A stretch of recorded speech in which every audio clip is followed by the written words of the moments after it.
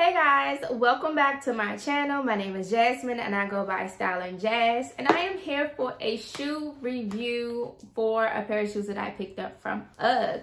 So let's get started. Alright, so here's the box. Um, UGG came out with these sandals called the Clem sandal.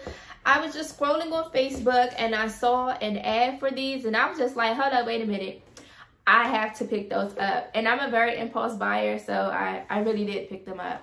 So let's jump right into it. These are the Clem sandals. They were a hundred dollars and I picked them up in this really pretty um, green khaki color. I really wanted the blush color, but they didn't have them. And these are the sandal.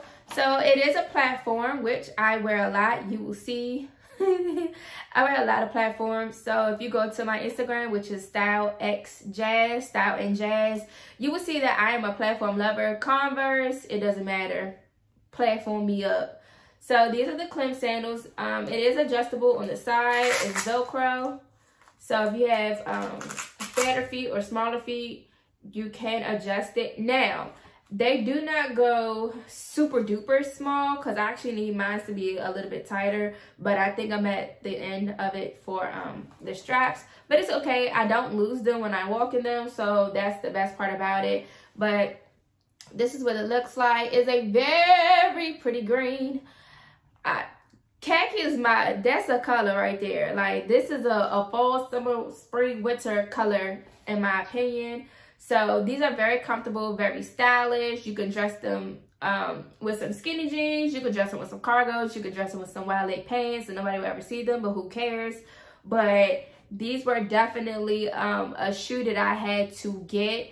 They did come out in black as well, but you know, as soon as I put them on my Instagram and I kept checking to go see if they were still there, honey, them was gone. When I tell you they sold out like two weeks after that, I just knew that my chances of getting black was over because I do wear size 8. These are very true to size um, in my opinion. So I normally wear a size 8 in UGG. So I did pick up a size 8 in these sandals. So again, these are the Clem UGG sandals and khaki. They look like this.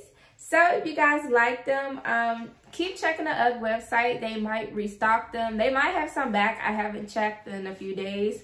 But check their website. They probably will be restocking on these because they're very popular right now, being that it is summertime. So yeah, make sure you go get these and I'll see you guys for another review. Bye!